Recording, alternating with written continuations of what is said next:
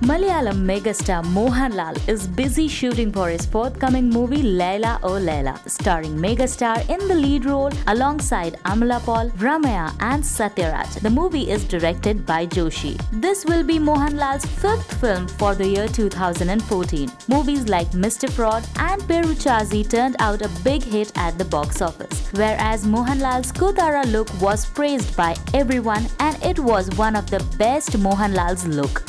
So we bring you Mohanlal's LOL that is Laila O Laila on location pictures. Do have a look.